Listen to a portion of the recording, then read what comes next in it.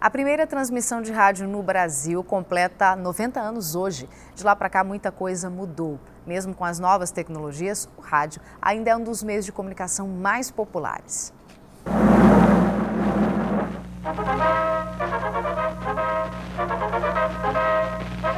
Prezado ouvinte, boa tarde. Aqui fala o repórter Esso, testemunho ocular da história, apresentando notícias da United Press.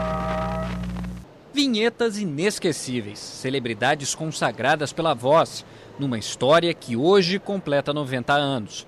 A primeira transmissão experimental de rádio no Brasil foi feita numa estação montada no Corcovado. O discurso do presidente Epitácio Pessoa para 80 receptores no centenário da independência. Na década de 30, os anos de ouro, a Rádio Nacional se torna uma das maiores difusoras da cultura brasileira o público se rende às radionovelas. Sente tanto assim a falta de Isabel Cristina? Bem, confesso que a sua amiga é uma criatura adorável. E aos programas humorísticos. Ergue-se em qualquer ponto da cidade maravilhosa o edifício Balança. Balança! Balança! Mas não cai! Nos anos 50, o Brasil já tinha quase 500 estações, uma rede explorada por políticos, como o presidente Getúlio Vargas. Hoje existem mais de 7.800 emissoras licenciadas no país e que se preparam para a mudança do sinal analógico para o digital. Os novos estúdios da Rádio Nacional em Brasília já estão prontos. Áudio é sempre áudio.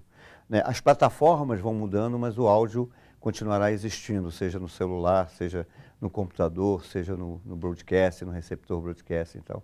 Até nas ondas virtuais. As emissoras públicas do antigo sistema Radiobras podem ser ouvidas no novo portal da EBC na internet.